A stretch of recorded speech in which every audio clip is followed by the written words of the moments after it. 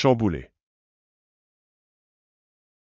Le verbe chambouler signifie renverser, bouleverser, perturber, mettre sens dessus-dessous. Voici quelques exemples d'utilisation du verbe chambouler. L'arrivée de la pandémie a totalement chamboulé nos vies. La nouvelle a chamboulé la famille, leur maison a été détruite dans l'incendie. Le projet de construction de l'autoroute chamboule les plans de plusieurs agriculteurs de la région.